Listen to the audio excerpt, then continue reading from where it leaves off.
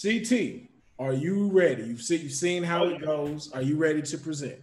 I'm ready, man. Um, if you would allow me, I would like to tell you a little story about Clayton Thomas.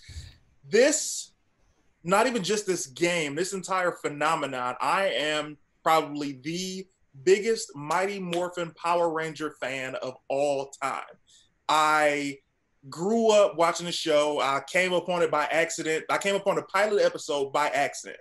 I came home, I sat down from school, I turned the TV on, and the opening credit sequence to this show was playing. And from that moment on, I never looked away. And um, my mom bought me all the toys. I watched every episode. And when it came time for the game to come out for the movie, um, the first version came out on Super Nintendo, and I didn't have a Super Nintendo. I had a Sega. So my cousin, who had roaches, this will make sense in a second.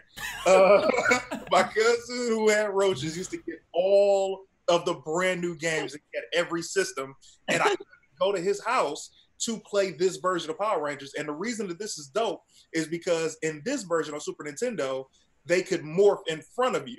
Like you could choose how they morph compared to Sega, where they're already morphed, right? So I would go over his house literally every weekend and we would play this game. And he would be Tommy, the Green Ranger, and I would always be the Black Ranger or I would be the Red Ranger. And we never beat the game because this game is actually harder very, than you think to get hard. to. Yes. But so dope, man. I spent so many hours playing this, and so much so that I endured roaches on a regular basis just to play this game. And, How bad was it? Huh? How bad was it though? Oh, you know what? It was it was this kind of bad. Hey, oh, okay, I'm tripping. Nah. Oh, there you go, right there. Is that kind of roach? Yeah, oh, okay. So know, it wasn't like an infestation. You were like sitting in a chair of roaches. No, it wasn't. Oh my god, that would be just no. Well, I guess any type of roaches is disgusting. It was one of those you knew that you didn't want to go to sleep over there, but you had to go to sleep over there. Oh, you slept there? Yeah, it's the weekend. You know, you can't yeah. call your mom and tell her to bring you back each day. So it was like, just these, these are the type, these are the type of cousins that when you threw that system away, if you cracked it open, there were roach eggs in there. Oh, fam, let me tell you something. Every time he got a new system, he'd be like, "Yo, you want?" I'm like, "Nah, I'm good, fam," because I knew what that was about to be. TC, you can't keep throwing your, your, your, cousin underneath the bus like this, though. Well, here's the thing. I got a lot of good. okay. Well, then they never mind. Know you what good. I'm talking about. You good then. I was like, TC, how many cousins you got, bro? ah, you uh, you gotta call that shit out because I had some cats in Florida that was like that. And then just to throw that off, I was, you know, I was I was having a fat moment. I saw a, a, a Popeye style wrapped up in, in the Popeye sheet, and oh. I hadn't eaten yet. So I was waiting for my mom and them to come pick me up. Please don't finish the story. No, no, no, no, no, no. So I didn't this, but this is when I found out, like, oh, you have those kind of cousins. Oh, I was about to eat it, and his sister came out, and I was like, yo, because like I'm still, you know, like I, I grew up with respect, so I was like asking people, like, yo, is this is this for anybody? Like I haven't had anything to eat. And I was just like, yo, is it cool if I have this? They was like, no, I wouldn't I wouldn't eat that if I was you. I was like, why? They was like, cause it's been out for like a day or two. I'm just like, I mean, shit, like at this point, I ain't true. She was like, no, baby, like roaches then walked over that. You don't. I'm like, why y'all still got it out? Yeah, I was about to say, if it's if, if it's you know contaminated. Throw it away. Like it's sitting on the stove. But I don't know why they like like black people in the South think the stove is like base in tag. Like, oh, if I put it here, the oh, roaches oh, will come home base. That is, that's facts, bro. That's it facts. is home base. It's home base. It is. Like it's, those, believe it or not, every time I went over their crib, the one place I never saw, I'm not saying that they weren't behind the stove or underneath the stove, but they were never on the stove. And I never saw them on the the floor of the tub. You saw them on the walls of the tub, but never the yeah. floor of the tub. Yeah. Unless you hit them and they fell in there. Then after right. it was it was KO because they didn't know what to do when they were in there. They were like, shit. And this Trini is putting in work, by the way. Yes. Yo, fun fact. This is a speed run at this point. They never changed the body style between the men and the women, so everybody had the exact same body. Hey, everybody I noticed that very quickly. I noticed. I was like, Trini's looking a little. uh Look at a little uh, stout. Yeah, she got, she got Meg shoulders.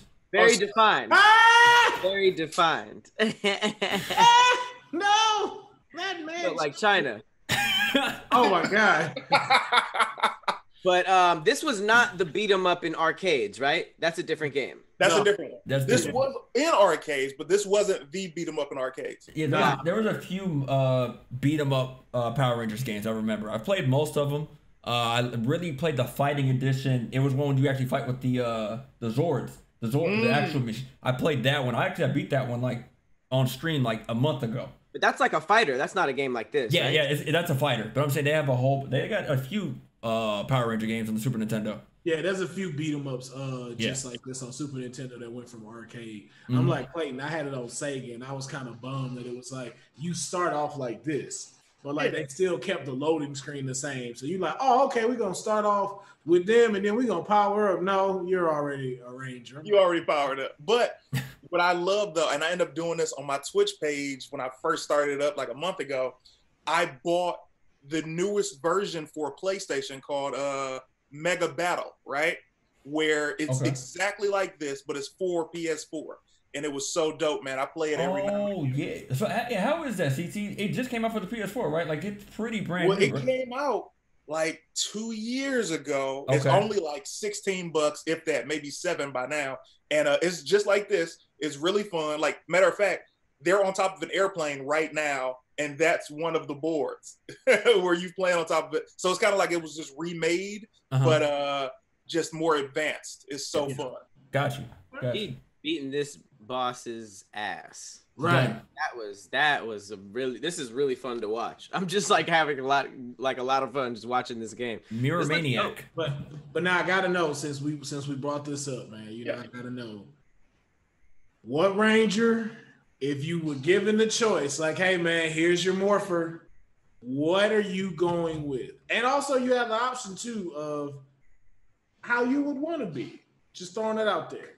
Now, if I had the opportunity, and it's so funny you say that, man, because you know, a lot of us have been afforded the opportunity to meet a lot of the people that we wouldn't have met if we didn't do what we do.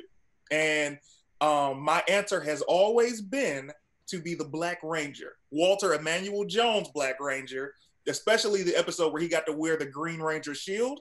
Mm-hmm. It was like superficial to me. Um, I've always chosen to be him because of the Power Axe, and he was just so cool, and I could relate to him.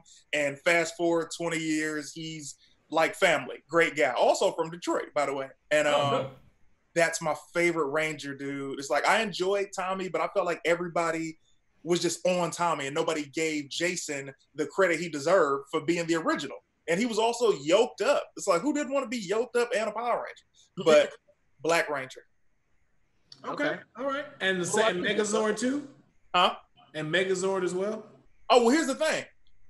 If I gotta choose my Megazord, I'm going for not just the original Megazord, but the Thunder Megazord. The Thunder Megazord was so hard. What was that? That's that was the one right after the first Megazord. Yep. Where their Zords got destroyed and they got hit by lightning and it like turned them into something darker. It was so dope. That, that wasn't the one, the white monster with the long neck, right? No, no, that's not a monster. I think you're talking about uh the white Megazord. Are you talking about when they had the it came out the water and looked like a Loch Ness monster? Yeah. Oh, that's Dragonzord. Yeah. Oh. No, no, no. It's after Dragonzord. No, Dragonzord is the Green Rangers, right? Yeah, but he's the only one that came out the water. No, I'm talking about the white one. The, the white, white one came from the forest, like uh, the White Tiger Megazord. No, it's not. It wasn't a tiger. It looked like the Loch Ness monster. It had no, a I, I know which one he's talking about because it would it would be in the water and it would do this before it came out as well. I know which because it was like a the neck looked like little almost kind of like balls that built up to his head. Right. Oh, Titanus. No, this was right after Titanus. Okay. Yeah. Excuse me. Touche. Yes, Titanus was different. Right, right, right. So wait, did you watch all of them, or were you really just into the Mighty Morphin? I watched Mighty Morphin all the way to space, and then I took a break because I started like aging out, and then I came back at Lightspeed Rescue I watched the crossover for Wild Force, which is Forever Red, the greatest crossover we've ever had for Power Rangers. Hmm. And then I didn't watch again until That's it. Dino Thunder, which was uh when Tommy came back to be a Power Ranger again. Yeah, that's Titanus. Okay, so you went you went pretty deep. Uh, Yeah, C- CT, what was the one you were you, you said you you would want? As far as my Megazord, Yeah, Thunder. the Thunder Megazord. Thunder Megazord. Got it. Yeah. And I had a whole like plan for like Power Rangers when they came back, like to have even like the Black Ranger in there. Like I had had like, and of course you know our go-to black guy now, Michael B. Jordan was like his his son. He was like Zack's son. Uh-huh. Way it became was like they were all military. Yes. That I remember fire. him with the sword. Yeah, I got a surprise for you. Oh my Uh-oh. god, he was hard. he Uh-oh. was He got hard it. body. He was dope. I remember I had this toy. I had a lot of the Megazord toys. the fact that people were dressed up as them in these in these shows to like fight as Megazords, I was just like, I wonder if they still got these suits. Hey, Well, no, to- those were all taken from the the Japanese shows. No, no, no, no, no. These no, like to get into these, they started doing these. Like the original, yeah. When they started moving over, like these ones, these were people in them. So wait, which which edition is this from? Uh, CT Which one? That uh that Megazord? Thunder, yeah, Mighty Mighty Morphin. yeah. But th- why why was it different though? Oh, that's just like an animated art picture. Like somebody No, no, no. He's at like he's No, no. asking how did they go from the original to that one? Yeah. he Oh, doesn't okay. know they got destroyed, and then they Yeah. had this one. So basically, all of the Power Rangers Zords got destroyed by uh, Lord Zedd in a specific battle, and Zordon tried to bring the Zords back, but they weren't back what they were. They had to get the uh, Thunderized power. So by them getting Thunderized, they showed the destroyed Zords becoming their new selves, And it was like an evolution. yeah. Got it. Okay. And this is when Zedd like first got there. This is when like he took over like he wouldn't read Oh, stuff. Damn man. Oh, I really That's got it. hard. I knew What it. is that? That's one. I got several Megazords, but this is a this is the Thunder one, and this is the original Megazord. Oh shit! Is what what is is that like? Is it like movable? Like what exactly are you holding? Are those like the original action figures? Yeah, these are the Zords, like individually that you combine to make into one Megazord. oh, I so got- that's those are the original. So you you built those. yeah, yeah. So I got Oh, dope. like you buy each Zord and then you just put Uh-huh. them together like tra- like a transformer. right, right, right, right. Damn, I wonder if I still have mine. I had to buy That's these amazing. Zords, boy. I was like, man, you know, you buy everything that you didn't get as a kid. Yep. Yeah. Come back and go And I get it. started realizing these are expensive. So I was like, that's why my mama didn't buy. Yep. How much were they? They uh I paid about I think a hundred dollars for the Thunder Megazord. I ended up getting a deal on the regular Megazord for like 70. Oh wow. But Okay. you know, you 10 years old telling your single mother who works two jobs, you want a Megazord. Right, right, right. So what? They were like 15, 20 each. Uh, because I didn't buy them separate. Like you literally buy the Megazord. So you are spending Oh. no less than 70, 80 bucks on a Megazord now. Oh shit. Like a good one, not just the, you know, the BS. Yep. Right, right, right. Yep. That's fucking lit. Man. So that not oh, oh also let me not leave out the reason I enjoyed this game and the entire franchise so much is because when we were growing up, bro, they did these after school special teaching moments that taught you about teamwork and how to be a good sport and never to steal and you know all of these ideas that we feel like are so corny now that actually helped me uh mold my personality and how to just deal with people who are different than me. Right. Yeah, they had a lot of uh a lot of teachable moments in Power Rangers. Like towards the end, Oh like yeah. they even had like some ones where they taught you like racism and even like like even Bulk and Skull. Like even they showed you like like how you didn't really kind of like you kind of felt bad for Bulk and Skull because they You were did. They were the poor kids in this town. Like their dad, like their family were poor. Yeah. So that's why they were like that. But they even showed like, yo, like we don't be trying to take our frustrations out on this stuff, but it's like, yo, like this is the life that we live. Like they be showing that shit. I be like, I forgot how much Power Rangers used to teach us shit. And That was in the, that was in Mighty Morphin. Yes.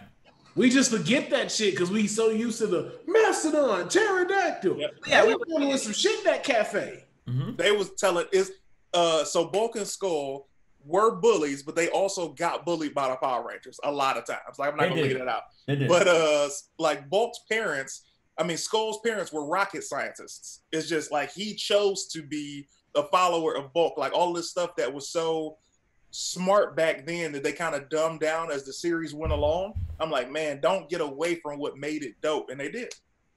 Yeah. Yep. That, that almost makes me want to rewatch some of this shit. If you go to Netflix, bro, and watch rewatch season one of Mighty Morphin, I trust me, you will fall in love again. Is that the best season? Easily. Oh, Mighty Morphin is the greatest one. Season one, and then it starts getting it starts getting kind of cartoony around season three. Whenever they brought that old punk ass kid in that became the Blue Ranger, Ah, and he after the grew up, movie? Come on, man. I remember that, that, movie. after that, that's when that Power Ranger started taking a decline. Yeah. Well, I watched. First of all, shout out to Blake Foster. He's a good friend of mine. Um, I watched a whole little small documentary about it, and the reason that season was one of the lowest rated Power Ranger seasons, and it's because we as kids wanted to be Power Rangers. So when you saw a kid becoming a Power Ranger, every kid hated him because he did what we wanted. That's so exactly what it kind of made everybody stop watching the show, and it's unfortunate Watch for it more. because you know. No, we didn't because it was like then you start having the thoughts of, well, if that's the case, why couldn't I be in it? Why couldn't it be someone that looked like me to be the Power Ranger? Why he oh oh that's what you know what that's what kids learned about white privilege. No, That's but everything else targeted at kids had a kid doing what you want, like Richie Rich. We but that's- and that, and but- that bow cut. but that wasn't realistic. We knew that would happen. We The- was on the, we were all okay with the fact that all right, you got to be a teenager Yeah. that's in high school to be one. So I can't be one right now. So that's cool. I ain't tripping. But Right. when I get older though, I'm gonna be a Power Ranger. Then you see this kid. Oh, here we come because he white. Gets Also- it to bypass everybody. That's what happened with this. I'm just insert this because we happen to be talking about it. If you remember watching all of that on Nickelodeon, hmm the reason it started to decline wasn't because Keenan and Kel and them were phasing out. It was because they had kids being on the show. Like Leon Frierson. I remember I was 10, he was 10. At the end of the episode or like a premiere, they were leaving, and a kid was in the audience, like, hey, can I be on the show? And they were like, Yeah, come on. And me being 10 years old, I was fucking pissed. I'll never Y'all were just hate. Y'all were just young haters. That's what it was. Y'all were yeah. you didn't get the sh- the the job and you didn't audition. Hey, No, because it was like because it was like it it it felt like a betrayal because it's like Yes. oh, was it that easy? Because it did like too for me. I was very guilty because I remember when Nickelodeon was in Orlando, and we went out for vacation, and during the vacation we were going to Universal, and then but in Nickelodeon they were holding auditions to be on Guts, and they were taking any kids like it was a walk on audition. And I was like. Mom, I could be on guts right now. Like I can climb. The You would have been the man. I was like, yo, like, mom, let me do it. Like, can I go on there? Mom's was not having it. She said, listen here, I brought your ass to Universal. I done came out here. Your dad ain't finna be sitting here in this old punk ass line to come see you climb some old stupid ass, fake ass mountain in the studio to watch some slime and shit come off. I was like, you know what? You remember these times. Will, let me tell you something. I'm telling you this right now, okay? You can cash this coupon whenever you want. With all due respect, if you ever want somebody to give your mama some hands, I got you just for that. You understand me? Because you deserve to be on guts. now. Guts. Bro, Guts. I was this like this close. I didn't even have to win. I had no intentions on winning. I was just Just like, being on the show let- would have been enough. let me just be on here. Because then they might would have been like, the greatest show. It was for kids. It was kid gladiators. yep. Oh, it Oh, I was would the oh greatest. and I will let y'all know that's that is when Pettiness Pharaoh was born. Because I was straight a teenage brat the rest of that trip. I can't fucking with my mom. I was like, Mom, so you just go, do you know what this could lead to if I get You on right there. I'm like, next is Legends of the Hidden Temple. Then of course they're gonna hear I'm smart and they're gonna put me on Double Dare. Oh! Then next is all that guest star spots. Then I'm here on Keenan and Kel. Like, mom, don't stop me on this. She said, if you don't get your fat ass on this ride and watch this Back to the Future shit we just paid for, before I take your ass back to that hotel, you ain't gonna do shit. You had like, a plan. How can they be mad at a plan? because I understood that my parents are were limited by the times in which they were raised, and they didn't fully understand they were raising a genius at that age. You know what? them, It was shut up. Patrick Cloud, you you Yeah. invited me on your show. I was extremely excited to be on here, and now my day is ruined because our friend was had an opportunity to be on Guts, and now I feel bad. This Jeez. close. This close. That sucks. I could have lost weight and been one of y'all sizes. Guts would have. I'm like, well, I can't keep eating now. I gotta. I gotta do this. I just, I just started tracking every, everything to guts for like a hot three years. Why you ain't doing good in school? Well, there was that time I could have been on guts. Maybe my grades would do better. Nope. I don't know. there was that time I could have been on Guts. Oh, You know, that's the greatest story that I did not expect to hear. So many man. I've led a I led a healthy life before I came out to LA. oh, Uh, well, Pat. Uh, first of all, Clayton, that was a great game that defined us. One of the dopest Power Rangers. games. Yes, Yes. just I think that's just a whole game franchise I slept on. Yep. That's something that we could definitely get into. Uh,